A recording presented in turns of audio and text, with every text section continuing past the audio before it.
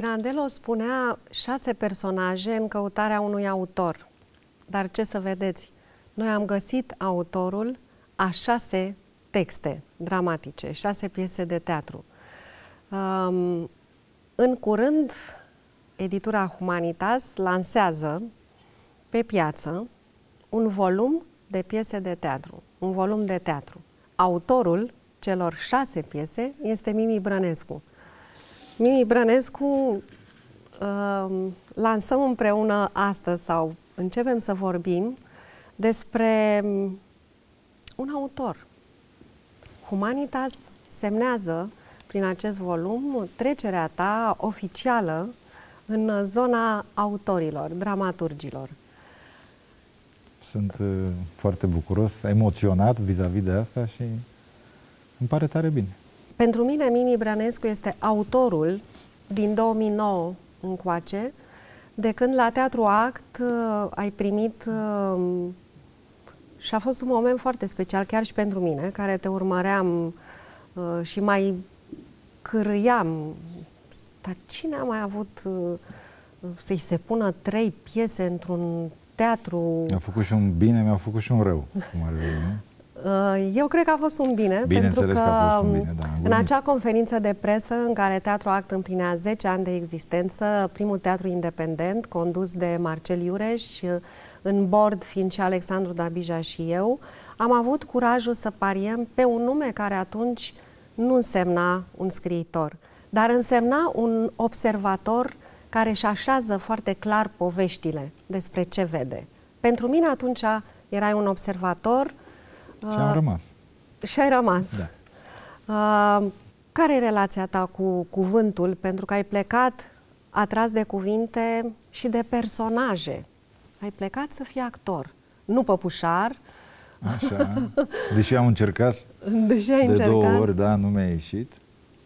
Da, bine, scopul era să... M-au prins. Scopul era să mă transfer m-a sfătuit să am mai povestit. Era un drum scurt, să zicem. Era, o nu, era vorba făcăl. despre neîncredere acolo, că spusese cel cu care mă pregăteam că n-am nicio șansă, că nu se intră așa la actorie, vii tu de la Lehliu Gară și uh, îi convingi pe oamenii ăștia cu talentul că o să intri. Nici nu cred că îl impresionasem cu talentul prea tare.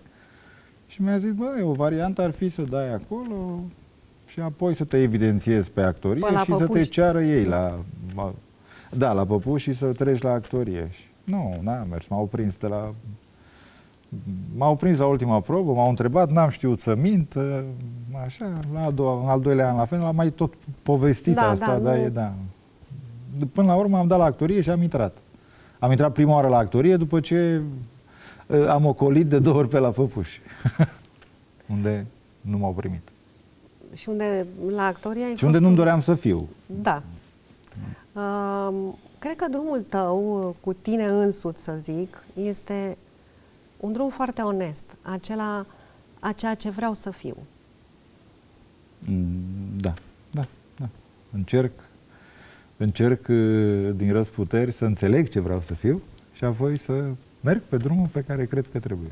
Cum era relația asta cu Olga Tudorache, profesoara ta? Eram foarte mic, deși eram printre cei mai mari din clasă, nu înțelegeam tot ce spune. În ceea ce privește profesia. Altfel era o mamă extraordinară și un pedagog extraordinar, dar ne spunea lucruri pe care eu cel puțin nu, nu le înțelegeam. Adică ce nu înțelegeai? Da, un exemplu. Le-am înțeles da. mai, târziu, mai târziu, când am început să, să profesez. Am mai dat exemplul ăsta cu Mimi. Chiar mie mi-a zis, intri și umpli scena și după aia zici nu știam, mai umplu scena, ce poate să însemne? Să alergi dintr-un colț central? Nu, chiar nu. Și apoi ne-a arătat cum se face. Și am zis, da, doamna, am înțeles, dar nu știu dacă pot. că noastră aveți talent și eu încă nu știu dacă am. Mie nu... La mine o confirmare a fost doar că am intrat. Dar sta să vedem dacă și pot să practic, mă pricep. Ajung acolo. Olga doamna Olga era o actriță desăvârșită, nu trebuie să spun eu asta. Și un pedagog extraordinar. Spun doar că nu înțelegeam atunci ce ne spunea Dumnezeu. Era așa ors pe gâște în ceea ce mă privește, pentru că acum stai Acum, acum zi. Și mințeam, eram impostor, stăteam acolo și am, a fost, bravo, a fost bine, dar nu știam de ce. Și ușor, ușor am început să înțeleg și în timpul cursurilor și după mai târziu ce ne spunea dumnei. Ce cuvinte, ce texte ți se păreau pentru tine atunci mai dificile și spre care credeai că rezonezi? Ca... Mă deranja foarte tare traducerea atunci, că erau, noi făceam după uh-huh. niște texte unde apărea des, oh, vai, oh, vai, și doamna Olga le juca pe toate încă extraordinar. Apoi și când, oh și vai. Vai de mine, făcea din ele și oh, vai, nu știam oameni care vorbesc cu ochi și vai. Era un tip de retorică Era ce un ți fel, se părea... da, care mă scotea din ce făcusem eu până atunci pe acasă și cu prietenii și oh, vai, mă... era fals sau era, nu, n-am știut. Asta, asta, apropo de cuvânt, asta m-a încurcat. Dar ce autor simțeai că, sau ce autor simțeai? Uh, Cehov mi-a plăcut Cehov. și, și în mod deosebit în anul 4, când l-am și descoperit, mai anul 3 am început anul 4, pe Mihail Sebastian. Sunt un uh, admirator. De ce îți plăcea Cehov? Știai despre el? Uh... Era ceva ce trebuia să înțeleg cum să explic? Uh, Pentru Știam că, că e ceva că tare. umanitatea. Era, da, nu știu să spun nici acum de ce îmi plăcea. Acum poate că, da, îmi place în continuare la fel de tare. Um, da, am mai descoperit și alții autori sau uh, am început să înțeleg mai bine ce face. Atunci mi se părea așa un uh, ceva foarte greu de atins și eram musai să înțeleg ce vrea să spună el acolo. Toate personajele alea, că de fapt nu spun ce spun, că de fapt uh, nu e cum... Nu știu, mi se părea un challenge important și cred că l-am și în mici, mici porțiuni l-am și atins. Ai fi vrut să joci uh, ceva, foarte clar ceva din Niciodată, ce? nu mi-am dorit niciodată să joc un rol. Poate într-o vreme în Petruchiu. Mi-ar fi plăcut să joc, dar apoi Poate și pentru că am jucat în Petruchio Lucențio și... Lucențio la, la Maniuțiu, nu? Da, și era da. domnul Râlea Petruchio și mă gândeam eu atunci invidios că aș putea și o să fac unele lucruri. Dar nu aș fi putut. Nimic, meseria asta de actor ține de o motivație foarte profundă, ține de muncă, ține de șansă, ține de o căutare ține oare și de încrâncenare sau nu? Nu știu, la mine n-a fost cu încrâncenare, nu. nu. În general n-am făcut nimic așa cu... Nu mi-am dorit nimic cu orice preț. Mi-am dorit poate să trăiesc mai bine, dar fără să păcălesc pe nimeni, fără să mint, fără să... Dar încrâncenarea cred că crispează, să leagă mai multe de ea și nu mai poți să dăruiești ce ai tu mai bun. Ce Poți doar să obții, poate, ce ți-ai dorit, dar nici nu te mai bucuri la fel. Mă gândesc, nu știu. În tine a fost ceva ce ai simțit că ai de dăruit? În, în, în toată viața, pentru că poate nu ai avut uh, și niciunul dintre noi nu are o viață lină, uh, complicată, e un amestec de de toate. Uh, ni se întâmplă lucruri, uneori le înțelegem, alteori căutăm uh, lecția da. acelui lucru. Care să ne ducă mai departe. Care să ne ducă mai departe, să nu ne oprim. Deși e foarte greu să nu te oprești. Câteodată le lași baltă și și schimbi direcția. Deci, băi, e clar, dacă de trei ori întâlnești, nu, nu, nu, sau cel puțin așa funcționează la mine, de câteva ori și mesajul e clar, zici, băi, ia, hai, lasă gentuța asta aici, ne mai gândim și căutăm în altă parte. Spre ce ți-a plăcut să cauți în tine? În primul rând mi-am dorit să înțeleg. Să înțeleg eu cum funcționează nu lumea, ci uh, cea aproape de mine. Tot, tot ce a fost lângă mine mi-a fost, uh, mi-a fost destul de, nu greu, uh, e ușor să zici, ăla e prost, ăla e deștept, ăla a greșit, ăla a făcut bine, uh, ce băiat bun e ăla, ce băiat rău e ăla. Da? Dacă te apropii mai tare, ai surpriza să vezi că lucrurile nu stau așa. În sensul ăsta m-a, m-a interesat întotdeauna să, să stau mai aproape. Nu știu cum să spun, să, să nu mă grăbesc, să zic uh, prostule sau deșteptule sau de acum te respect. M-am am mai, am mai citit odată, am mai verificat, am mai văzut odată filmul, cum ar veni. Nu m-am, am dat verdicte repede. Crezi că asta vine și din lumea în care ai crescut? Păi am venit cu teamă, da. Sunt un țăran venit la oraș unde am dat de oameni care aparent știau mai bine decât mine cum se face tot și pf, am bășbăit și eu. Să nu mai fac așa, să nu mai, nu știu cum, până am înțeles cum stau lucrurile. Nu că nu s-ar fi ocupat ai mei, dar s-au ocupat săracii cât s-au priceput și ei tot niște țărani erau. Și e așa un mers mai, un drum mai... Da, m-am prins că trebuie să fiu cum sunt. Că cine mă place, mă place eu. Și cine nu mă place, nu o să mă placă orice efort aș face. Trebuie e... să înveți doar să nu-i urăști pe cei care nu te plac. Să-i lași în treaba lor. Um, Ai zis să vorbesc mult. Neliniștile, neliniștile tale ca scriitor sunt mai mari decât cele pe care le-ai avut ca actor, actor de teatru, actor de Mi-e film? mai puțin frică. Mi-e mai puțin... Acum, sincer să fiu, titlul ăsta cu autor da. m-a cam panicat așa, știi? Eu am tot... De ce? Că vezi foarte clar... Uh... Nu, da, că trebuie să-ți asumi povestea asta da. cu autor. Ori eu m-am ascuns așa la scris. Mi-a convenit că sunt un actor care și scrie.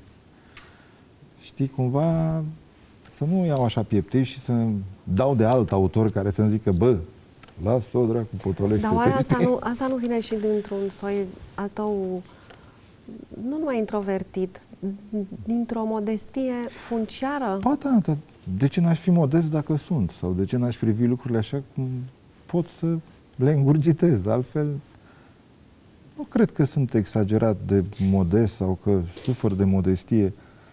Uh, cred că nu, uh, cum să spun, nu sufăr de ce înseamnă să nu fii modest. Știți, și mai bine pornește așa defensiv în ceea ce privește lucrurile pe care nu le cunoști. Eu nu am făcut o școală de scris sau nu mă recomandă nimic. Uite, am recomandarea de la Teatru Act, că mi-au montat trei piese acum niște ani de zile și că unora și alt sau altora le nu, unii și alții au zis, nouă ne place cum scrii, dă-ne și nouă. Sau, bravo, Mimi, ce frumoasă a fost piesa aia. Dar Mimi, cum te-ai apucat de scris? De ce te-ai apucat de scris? Primul text. Primul text uh,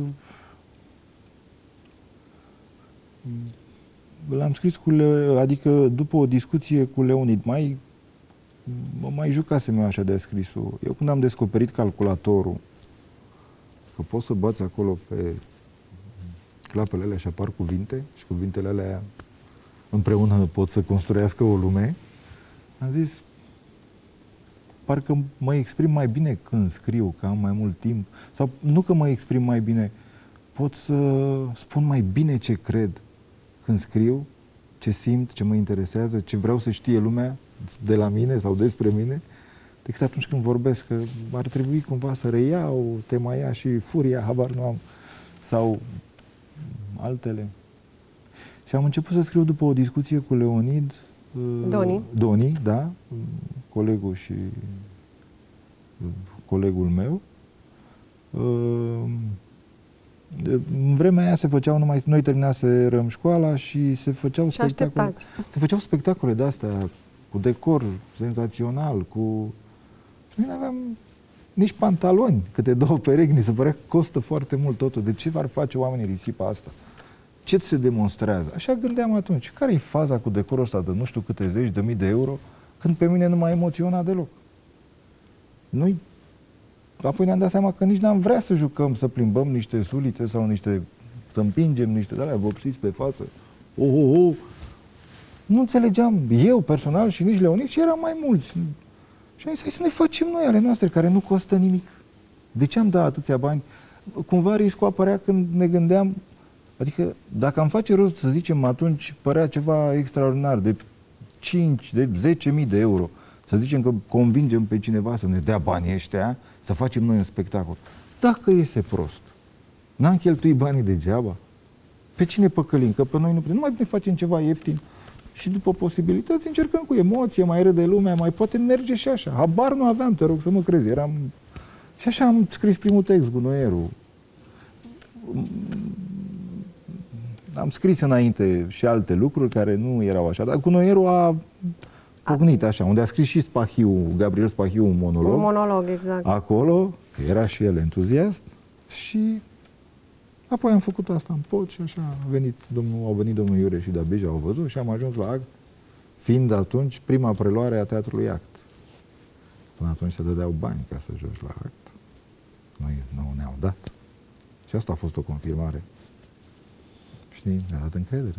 Deci dacă oamenii ăștia ne, ne-au chemat și ne plătesc să jucăm acolo, înseamnă că facem ceva bine, nu? Uh, aș încerca un pic, uh, ca filolog de data asta, să uh, fac o ierarhizare cumva a textelor tale din punctul meu de vedere. Uh, Dumnezeu de a doua zi, care este un text în două personaje. Ai grijă ce zici. Glumesc. Cu grijă. Este, este un text, uh, să zicem, într-o dimensiune uh, în care încă nu încep să folosești niciun fel de didascalii. Glasul tău interior este estompat, este reținut, uh, prin planul este într-adevăr pe sensul dialogului și pe o atenție actoricească, așa am uh, perceput. Da. Și eu cred că de asta te și iubesc actorii și îți vor textele, pentru că undeva știința actorului uh, se prelungește în, în cuvântul pe care știi să-l uh, duci cu povestea lui cu tot. Și aș citi puțin din uh, Dumnezeu de a doua zi pentru ritm. Tata singur, azilul de bătrâni din Moreni, fericit că în sfârșit echipa rapid a ieșit campioană.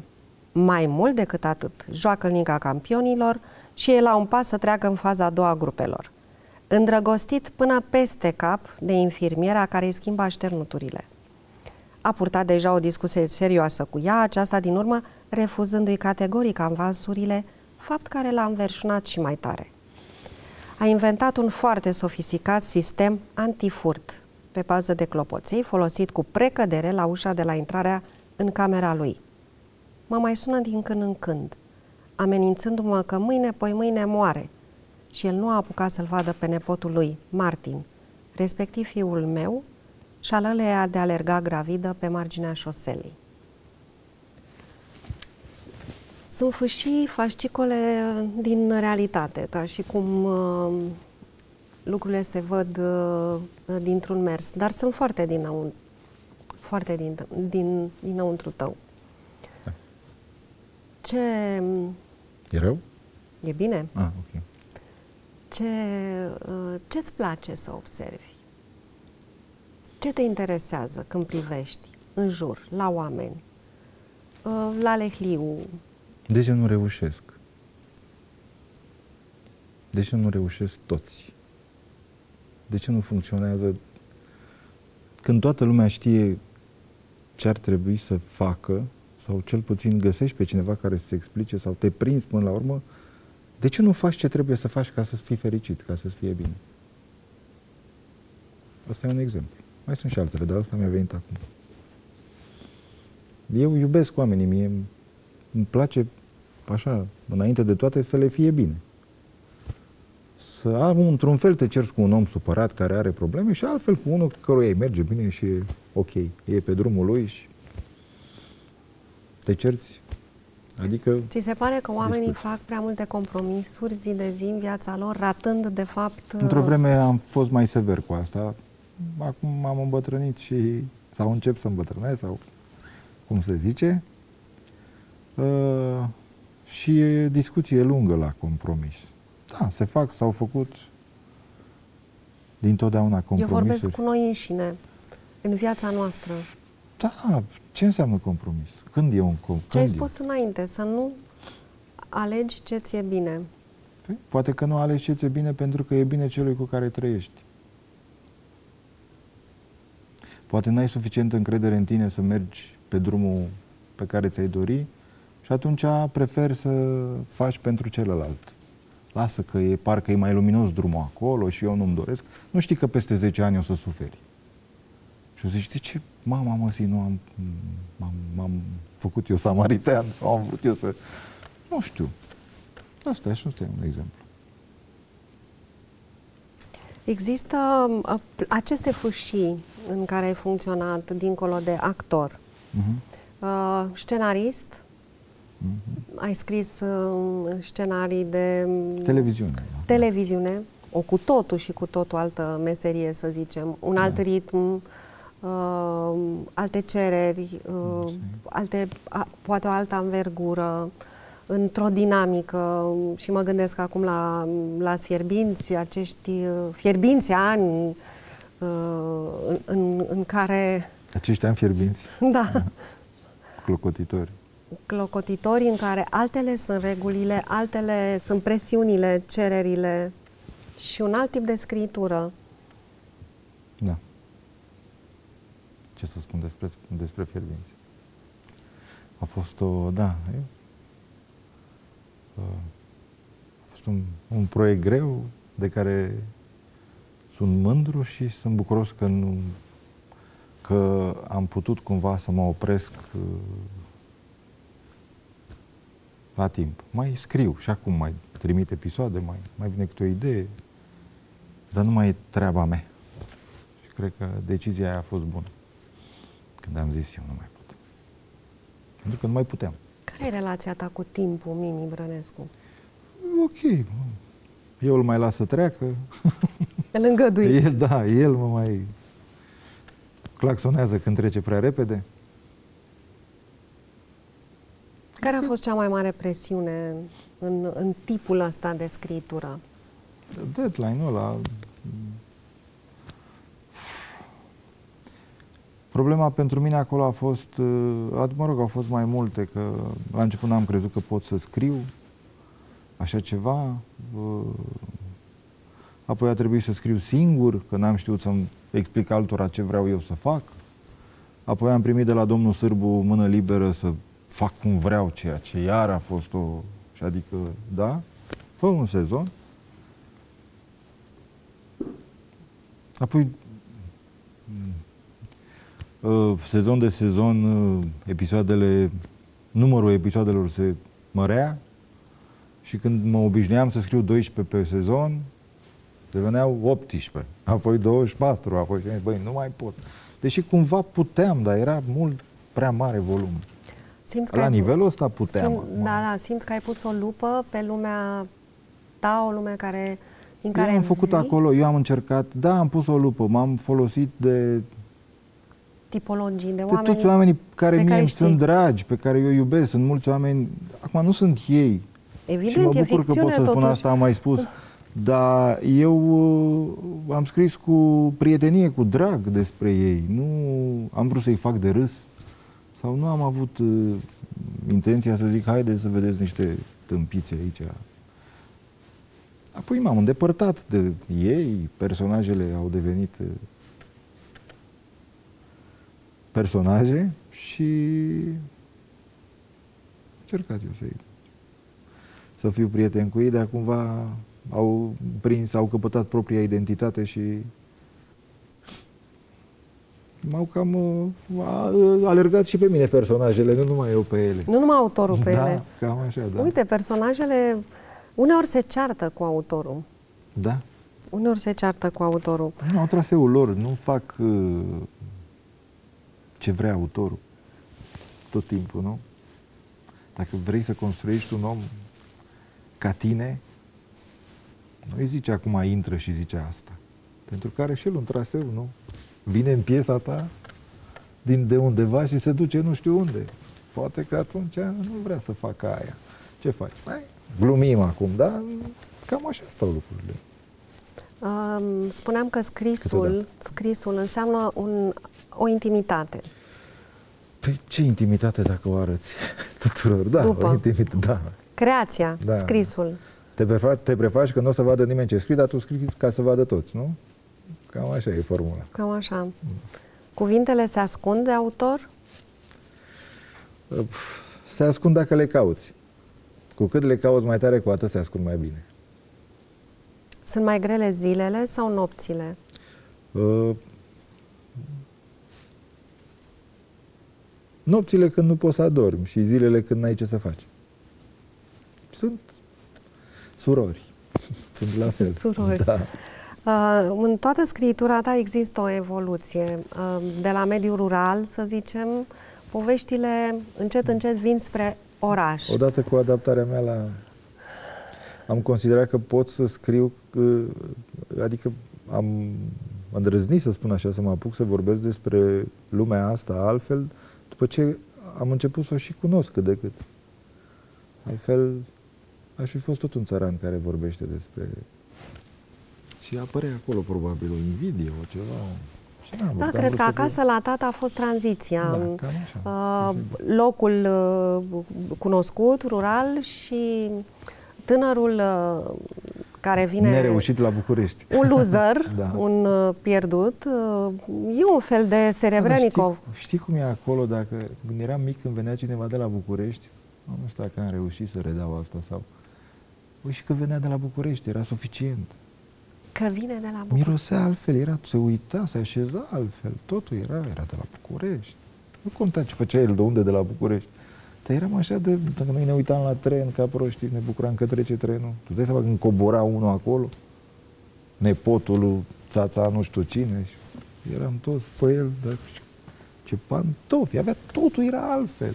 Și ne zicea, băieți, eu ziceam, prostule, nu știam.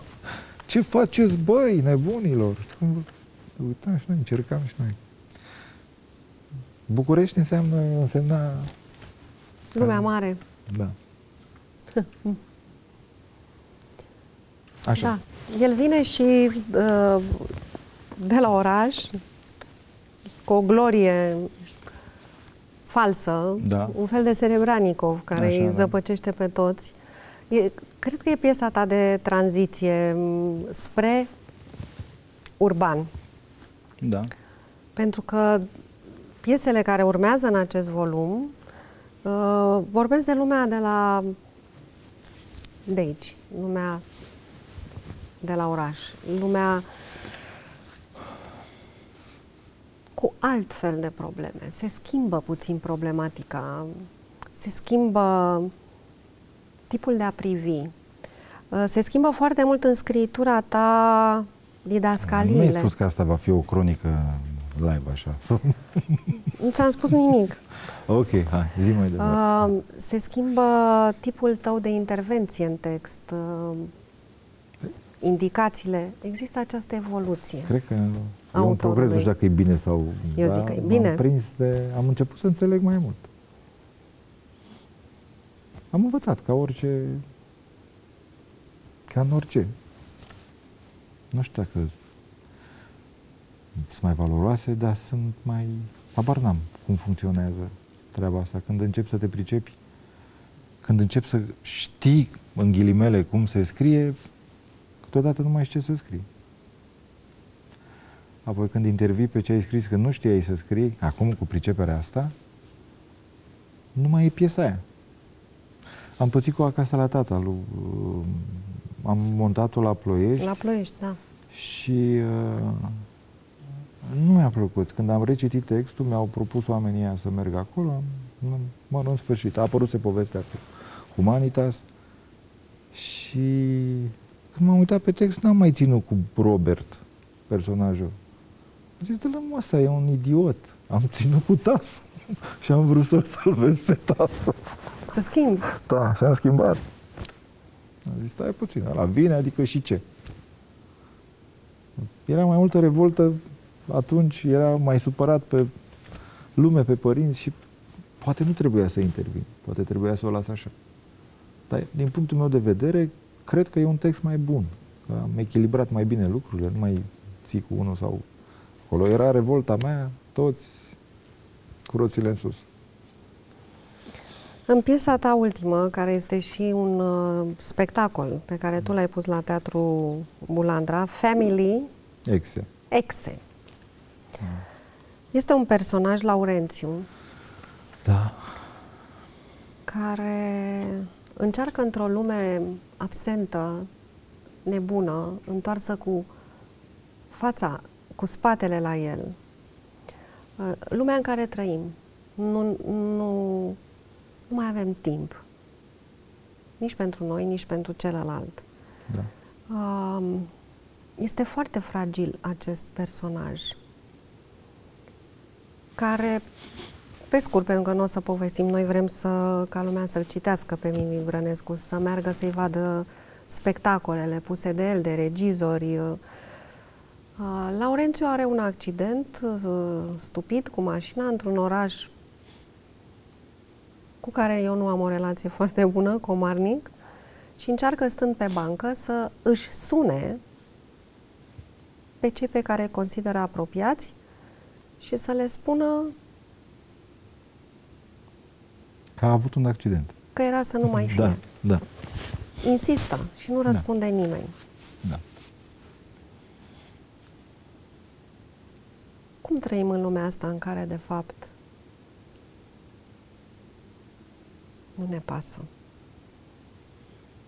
Încercând să cumpărăm cele mai frumoase și cele mai la modă lucruri sau să țopăim pe piatra aia unde e soarele, unde ne zice la televizor că e soarele mai arzător. Nu trăim. Ne, ne grăbim să prindem super ofertele. Alergăm după super oferte. Și celălalt? Și viața? Aici e vorba despre o familie. Păi, și celălalt uh, încearcă și el, în bula lui, să prindă o super ofertă, o ofertă bună. Da, la el e și linkul cu cel care are bani de unde trebuie să... Adică cumva aici e compromisul, nu? Că trebuie să-i meargă uh, celui care dă bani bine ca să... Plus de a, în afară de asta trebuie să păstreze și o relație bună cu... Sunt tineri care vin spre tine. Uh, poate nu neapărat să înveți să scrii. Ții acum uh, al doilea workshop sau cum să-i spunem, atelier de creație, o poiana lui Iocan, Întâlniri. întâlniri Da. cu tineri foarte Da. diferiți, mulți actori, cu care stai deja de câteva luni în jurul cuvântului și al poveștilor. Așa e.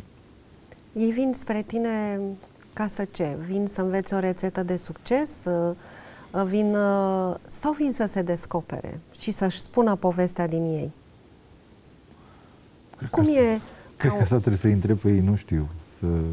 Ce simți? Eu simt, da, b- eu văd că vin cu entuziasm și că vor să învețe și chiar învață. A fost și un deal foarte corect, așa, de la început, le-am spus și lor și celorlalți, pentru că pentru mine a fost o problemă mare să mă apuc să învăț pe alții cum se scrie, câtă vreme nici eu nu știam. Deci, impostură mai mare, cum să fie, dar cumva m-am convins că aș putea să îi învăț ce știu eu despre scris. Asta cu mare drag. Dar a, a, întâlnirea asta nu le va a, rezolva nimic. Doar vor ști și ei cum aș face eu. Și le spun de la început, aici n-ați venit să, înv- n-a- aici nu o să învățați să scrieți. Aici o să vă spun tot ce știu eu despre cum, ce am descoperit eu în timp, despre cum se scrie. Vă ajută, nu vă ajută, o să vedem. Sigur că poate mai e vorba și de altceva. Sau... Și mi-am dorit foarte tare să-i, să-i ajut să elimine, să, să găsească niște scurtături, să nu mai piardă timpul pe niște drumuri pe unde eu am mers degeaba, degeaba, degeaba, degeaba și, și am pierdut niște ani. Cumva eu îmi place foarte mult pentru că am descoperit în timp uh, că și o să spun o banalitate, adică nu e o banalitate, e foarte adevărat, s-a tot, uh, s-a mai tot spus, uh, am învățat în egală măsură de la ei. Știi? Nu am învățat ei, n-au venit doar să învețe de la mine, știi? Îmi place cum privesc uh, lumea ei. Pentru mine a fost foarte important. Mi-a făcut foarte bine întâlnirea cu ei și le sunt recunoscător că au venit să mă asculte pe mine. Cui mai ești recunoscător, Mimi? Oho. Oho, vai, o, vai. Oho, acum știu să-l zic, da, oho. De părinții, familia, prietenii, toți care au fost lângă mine. Te-ai mai apucat să construiești o sanie care ține în ea un brad? Care poate Doar așa să scris. fie suportul unui brad? Doar uh, dacă aș scrie poveste, da. Nu m-aș mai apuca acum. Pentru că acum știu că eu nu aveam... Poate și de-aia mi-a fost atât de greu. Uh, sau nu... Eu nu aveam chemare în direcția aia și nici pricepere. Tata a fost tâmplar. Eu nu mi-am dorit și nu aveam... Tata a fost un tâmplar foarte bun, grozav. Dar eu nu mi-am dorit să fiu tâmplar și nici nu eram un tâmplar bun. Și pentru mine a fost un chin să dau alea, să fac o săniuță, suport de brad și să... Să vii cu ele la București, să, să le vinzi? la București, să le vând. Niște experiențe. Mi-a părut mai rău că nu i-a ieșit lui decât că nu ne-a ieșit nouă. Tata era naiv așa, cu, după Revoluție a zis că cum probabil ar, o gândim toți, domne, facem, avem niște bani, facem o afacere, dacă o facem bine, mergem mai departe o să meargă, o să fie și mai bine, facem o afacere și mai mare și n-a fost așa, pentru că lucrurile n-au fost foarte corecte după Revoluție. Am greșit? Ce este încrederea pentru tine? Eh, ce este încrederea? Sau ce este lipsa de încredere? Lipsa de încredere răspund ca la oracol. Uh, glumesc. E atunci când undeva acolo mic simți că poți, dar ți se pare că pot alții mai bine. Și n-are rost.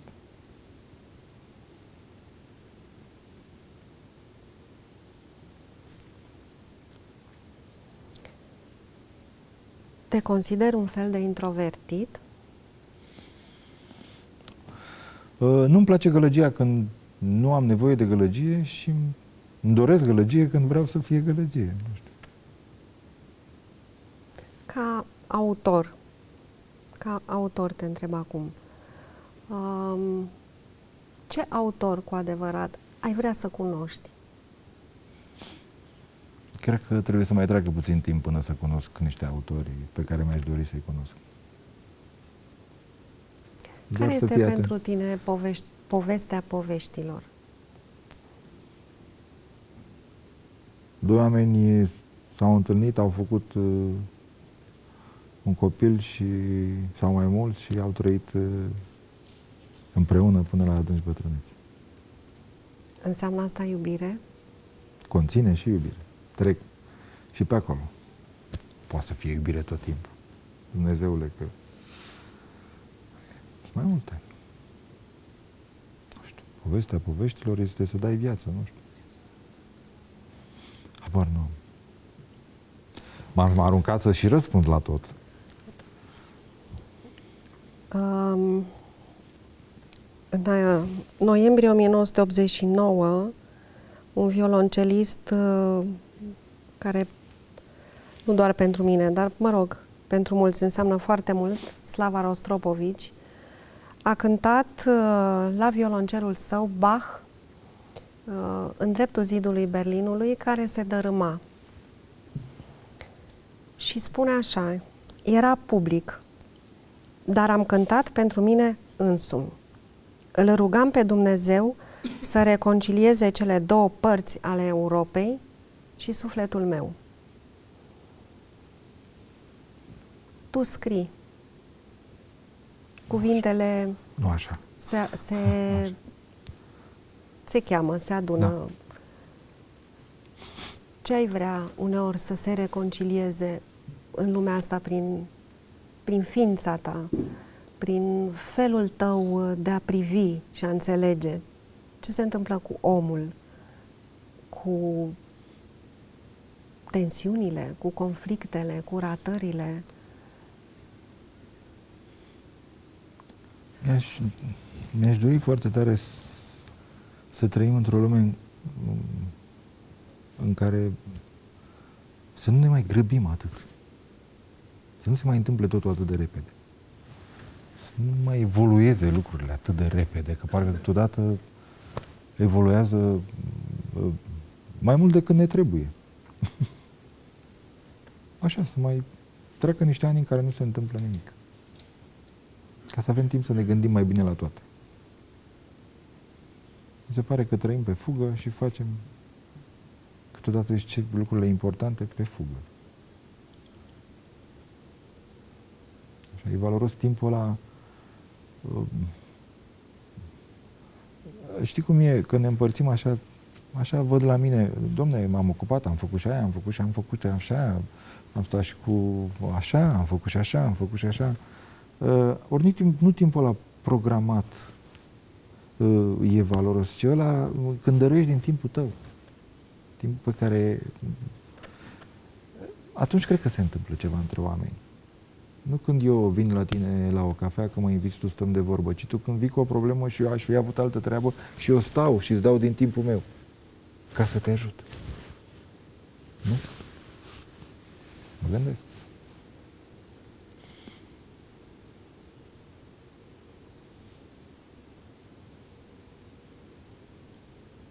Ce personaj al tău îl iubești cel mai mult? Da, pe toate.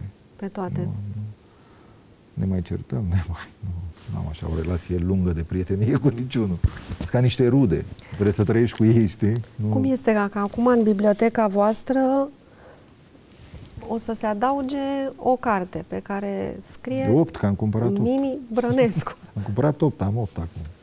Ai, ai deja opt? Da, mă, nu și mi-am cumpărat, am vrut să-mi cumpăr...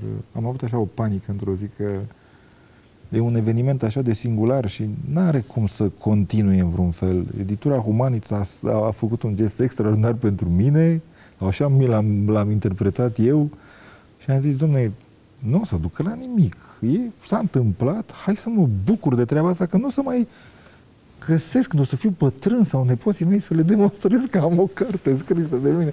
Cumva mi s-a părut. Păi m-am dus la librărie și mi-a zis doamna acolo, uh, nu mai sunt decât opt. Dați-mi toate. Și am mințit-o că pentru niște prieteni, dar nu le-am luat pentru prieteni, le-am luat să știu că mă rămân, că mai că, să nu rămân fără. Apoi mi-a fost rușine, știi? Ce tâmpi să mă duc cu mașina, eu să-mi iau, îmi plac cu sacoșa, cu cărți, o idioțenie. Da. Asta e, așa am făcut. Dar ce frumos. Da. Uite, Petru Creția scria undeva într-o carte, l-am iubit enorm pe Petru Creția, pentru că am învățat foarte mult de la el în șuete dincolo de bibliotecă și de scandările în latină și... Uh, dar aveam șuiete în picioare când uh, mai uh, stătea și bea câte ceva, ne accepta foarte tare în jurul lui și foarte de la egal la egal.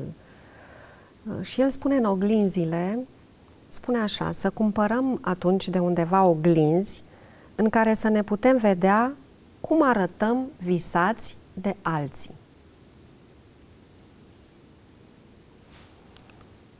Ce oglinzi uh, ai cumpăra în care să-i vezi uh, pe cei din lumea ta în visul tău oglindit? Oglinzi care înfrumusețează. Pentru că lucrurile sunt oricum așa cum sunt. Adică cum? cum sunt. Nu bune și sau alb rele. și gri. Nu bune sau rele, sunt cum sunt. Sau măcar să aibă un buton pe care când apeși, devine totul mai frumos. Așa mi-aș dori eu o oglindă. Și oglinzi. Aș dărui tuturor. Măcar să cumva să poți să aspiri la povestea aia să vezi ce ar putea să fie, ce frumos ar putea să fie dacă am face toți ce știm că trebuie să facem. Tu ce știi să faci cel mai bine, Mini? Să dorm. Să dorm, să mor. Mulțumesc, Mini, și um, o să cumpărăm aceste cărți ca să, să locuim lumea lui Mimi Brănescu. Dacă rămâneți fără, am eu 8. mulțumesc și eu, mulțumesc foarte mult.